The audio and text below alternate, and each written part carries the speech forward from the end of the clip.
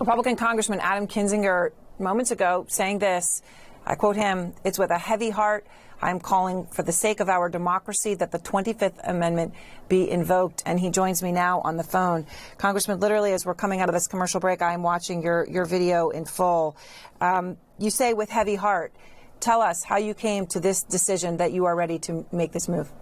Yeah, look, this isn't easy, obviously. Um, but, you know, as I woke up this morning, you know, I, I went to bed pondering this question at 3 a.m. and, you know, woke up this morning and, and saw that even some members of Congress are continuing to try to push now conspiracy na- uh, narratives that, in fact, it wasn't Trump supporters that stormed the Capitol. And, and you just came to realize, you know, the 25th Amendment has been voluntarily invoked in the past uh, as presidents have gone under anesthesia. And it was created to ensure that the government uh, could continue to function. And for the next two weeks, we, in essence, have a president that seems unmoored from reality. Uh, we're getting indications of staff leaving in droves, and uh, and I think just for the sake and the survival of this moment, uh, it's far bigger than politics. And the 25th Amendment, putting uh, Vice President Pence in charge until the president uh, can lead again, which obviously in a short amount of time probably will not happen, is the right thing to do for our democracy. So you have not been afraid to say what you think, to stand up to people. You know, you talk about these baseless conspiracy theories. You've called it out from the beginning, Congressman. Um, but but this isn't easy to do. To be sort of the first one out of the gate. Have you talked to any of your Republican colleagues? Uh, what are they saying to you?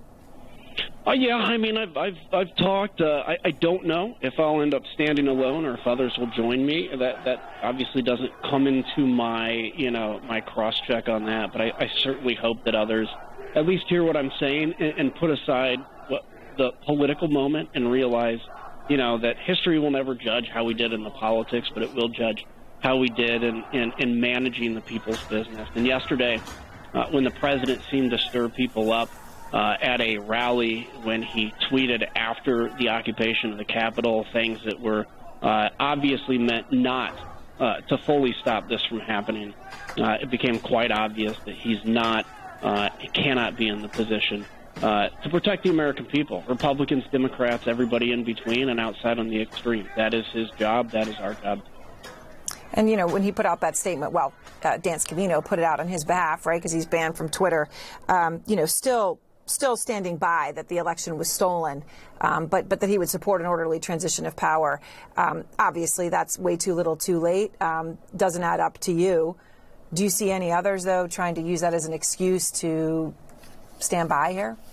Yeah, look, I, I see, you know, like I said, I've, I've seen, you know, one particular member of Congress, I don't like to get in the business of calling out, so I won't, but who has a pretty viral tweet with quote unquote evidence that this was actually Antifa. And, you know, it's, it's the same kind of stuff that we've been dealing with when it comes to even, you know, the quote unquote evidence, the stolen election uh, all of it gets debunked, but the accusation is what catches fire, and there's so much information that, that people don't know what to believe. The bottom line is this: everybody, uh, I think, would feel safer if uh, if Mike Pence was at the helm for the next two weeks.